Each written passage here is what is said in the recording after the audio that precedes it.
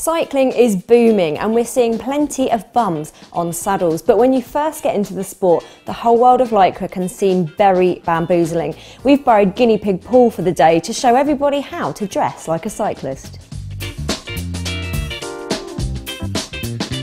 So let's start at the very top with the helmet. This is actually a really good choice, so there's nothing wrong with your choice of helmet. It's got high visibility factors, but the problem is how you're wearing it. The retention system with the straps is far too loose and the positioning is way too far back on your head. So of course, in the event of a crash, it's not gonna sit where it should in order to make you as safe as possible. So hand it over and we're gonna make some adjustments.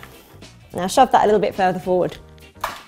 Next up, we're going to look at eyewear. And casual glasses are fine, but it's far better and easier to get a, a, good range of vision and peripheral vision when you're out on the bike, especially in traffic, if you've got cycling specific glasses. So I'm going to recommend that Paul switches. So it's away with these and in with the cycling specifics. Now moving down the body, let's address the t-shirt. Paul, there's nothing wrong with it, love the t-shirt. However, it's not a technical garment, so it's not actually gonna draw sweat away from the skin and it won't do much to regulate your temperature. So I'd always recommend something that's a little bit more cycling specific. So I'm gonna switch this for a cycling jersey. Especially here in the UK, we're very used to changing weather conditions, so a very versatile item that you can add to your cycling wardrobe is a set of arm warmers. They'll stave off the chill and complement a jersey really well, so I'm going to recommend that Paul tries a pair of these.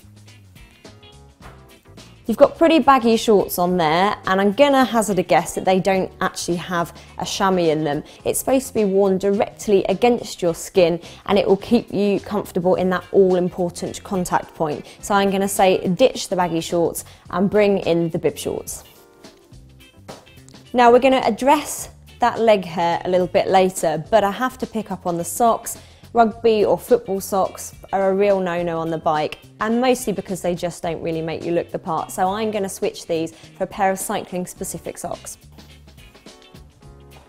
And finally, there's nothing wrong with wearing trainers when you're first getting into cycling, but as you progress, you might want to look at cleats that clip directly into your pedal. This can really help with power transfer, so you could find yourself going quicker, and once you've got used to it, it will be a lot more comfortable too. Here you go, Paul. So let's bring back the new and improved Paul. Looking great, brilliant transformation, but there's one final issue we need to address and that's your leg hair. So off you pop with this razor.